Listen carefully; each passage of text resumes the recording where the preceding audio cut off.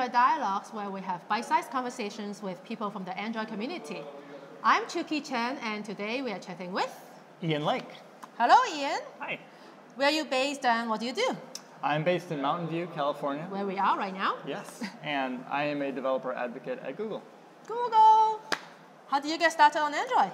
Um, I got started uh, about almost five years ago, um, starting kind of in my own free time, Mm-hmm. and then uh, through a project for my master's degree. Actually, we did Oh, okay. Android uh, development there. So And then you fell Never- in love. never and- stopped. Wow. Never stopped. Excellent. And we were actually chatting um, off screen, and for some reason, the topic of Stack Overflow came up. yeah, it's kind of a big deal, right? Yeah, because we were arguing about whether it's kosher to answer your own question. Yes. I mean, that's a little bit advanced, so I guess maybe we just get like an overall view of like, how do you use a Stack Overflow and what do you think about it? Yeah, Stack Overflow is a great resource for Android developers, Right. right? And developers in general. Yes, Yeah. developers in general, and you know the Android tag has really kind of been like a huge part of Stack Overflow because it is Right. kind of that. It has the it has the little guy on there, so it's Yeah, like got the official. symbol. Yeah. It is, um. And it is kind of the best Q and A kind of resource of like I have a random Android question. Mm-hmm. It used to be that Google maintained a lot of different Google groups, and Right. and it was really difficult actually to get answers. So I'm kind of glad that we moved to uh, onto like a specific Q and A format. That Right, is- and the best part is that Stack Overflow is very easily searchable via Google.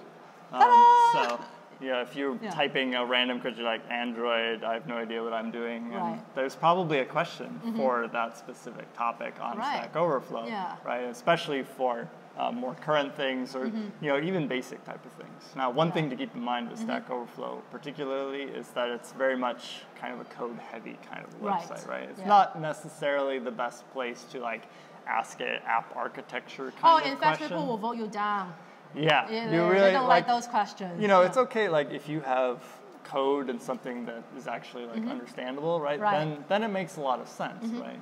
But Yeah. if you're really trying to kind of like whole app type of thing, it's not necessarily the best. Mm-hmm. Right. Yeah, I actually started answering questions on Stack Overflow, but I was a little bit timid about asking questions. I, I, I feel like I don't want to look stupid on the internet, so I have been I, going through and just answering other people's questions. And also sometimes I feel like whatever I want to ask is somebody else already asked it. Yeah. I don't need to ask it myself. And you know Yeah. that's that's certainly something, especially now, right? But Right. you know, if you think about any of the newer topics, right? Right. A newer version of Support Library, a newer version of Yeah. things like Marshmallow. Right, or like when vector support library came, well, not that the support, that's not available yet. The vector drawable we're library. working on it. Um, Yeah. But no, there's always going to be new things Right. to talk about, right? Yeah. And like those new releases, like if you're Mm-hmm. like, wow, day one, I've already explored the whole thing, Yeah. right? Like you may be the expert in that No, subject. It's right? interesting. So, like speaking of the vector drawable, like when it came out, Hmm. I actually did go in and explore, and then I wrote a blog post about it. Yeah. And for me, that's how I usually share knowledge. Like I, I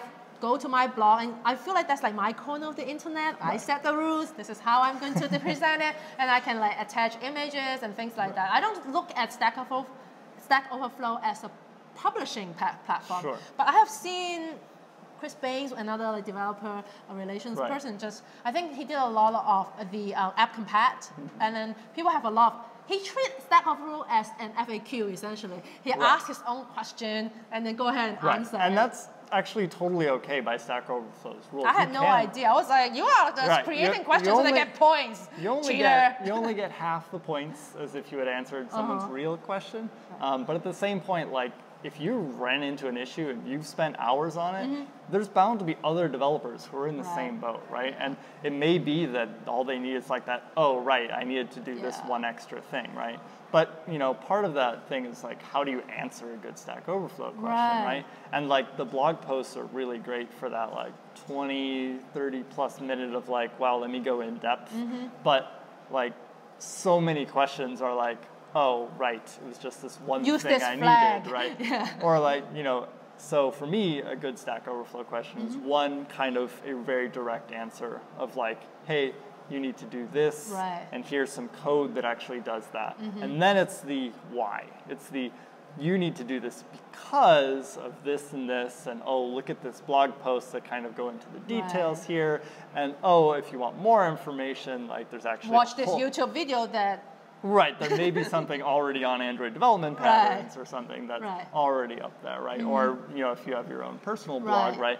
That's actually a really good way of re-engaging with the audience and Yeah. Mm-hmm. getting kind of that feedback, right? And maybe your blog post covers two or three issues, right? Right. And it's not so much that like, oh wow, I can sum up my whole blog post in, a two, two par- sentences. a two paragraph Stack Yeah. Overflow question, right? But maybe at the same point, like it could be a couple of questions of like, oh, I'm having a problem with this. Oh, here's the Mm-hmm. Yeah. solution, right? And maybe your blog post is more exploratory of like working through multiple problems Yeah. at the same time. So my blog posts I usually also present the wrong solutions, like basically walls that I walked into, because I feel like that's completely valid to tell Right. people not to try that because I tried it for you and it doesn't work. Right. And that Stack Overflow, Stack Overflow does not like that. Like Right. it doesn't like false starts. So there, there is a time and place well, for. You know. but at the same point, like that makes a great question, right? Like I'm trying, I'm so you're telling me to put like, like- the false starts in the question well, part. you think about it this way: like I'm trying to do X. Mm-hmm. I have code that looks like Y. right. why isn't it working? And you're Mm-hmm. like, well, of course, like actually Y isn't the right approach in this case, right? Because X, Y, and Z is Mm-hmm. Right. Uh-huh. like you have to actually do these things, and this is how you'd actually do Yeah. it, right? And there it becomes very natural, right? Because you know, if you're Uh-huh. thinking about a problem, it is very much like, oh my God, I have a big problem, I need to solve it, right? Right. And Stack Overflow is very much that bite-sized version of that. I actually am relieved to hear that this is actually something, well, they don't actively encourage, but they don't discourage either. Because I feel like a lot of the times, people who found a problem and then they solve it and they just secretly kind of like finish it and then get on with life. Yeah. And if you tell them, oh, you just need to like blog about it, and then it just feel like the bar is really high. I was like, what do you mean I have to start up a blog and then I have to like go and like figure out a title of my blog? I mean, I obsess over such things. you know, yeah, and it Right? takes a lot of time and effort to really do it right. Exactly. And, you know, there's already so many people who are an- asking questions on Stack Overflow, Right. maybe even just searching Stack Yeah. Overflow first and be like, oh, there actually is someone who asked that exact question. Like, you don't need to make a and, fake and the, ta- question the if task is smaller. Like either if there's already a question or asking your own question, you don't have to go through like if I have a own blog, I have to brand it, I have to do all these things. You just today I have this problem and I found this solution. Yeah.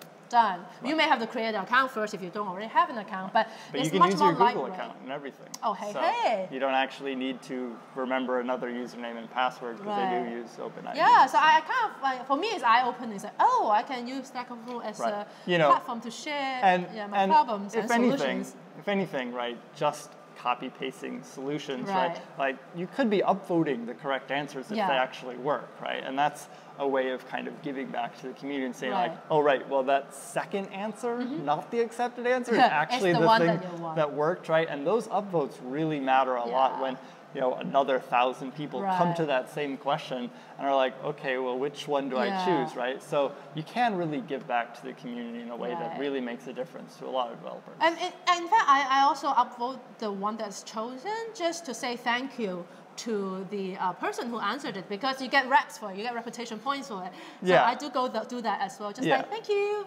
Right. Yeah. Yeah. and you know, you have to realize that a lot of Stack Overflow questions have been around for a long time. Right. Android's been around Yeah. five years, right? So Yeah.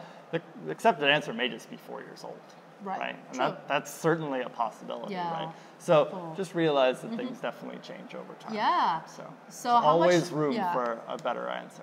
How much time do you actually spend on Stack Overflow? Um, so my daily routine is I have multiple times I go to the newest questions Ah. in Android Uh-huh. and just kind of give a brief glance of like, okay, well, do these questions look um, easy? I create a couple of tags that Mm-hmm. Right. Mm-hmm. I like really closely follow. Support libraries one, um, Right. So that they stand out. So you regularly go and check and Yeah, see. Yeah, it's kind of like that, you know, oh, I'm going to get a drink of water, check Stack Overflow, spend a half hour diving into code. Right. And right, like you learn a lot when you're trying to summarize things into Yeah. two sentences.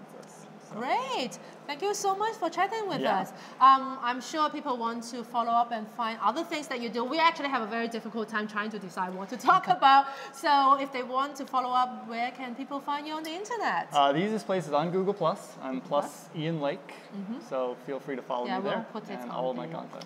Overlay. Great. Thank you so much. And by the way, we are actually at Android Dev Summit. So we'll also add a link. Yeah, he's hosting. Uh, we'll, we'll add a link. So hopefully when this episode goes live, the recording will be yes. already up. And yes, then people definitely. can see you on stage, talk about various things, and all these other awesome talks. Fantastic. Thanks for Great. having me. Thank you. Bye. Thank you.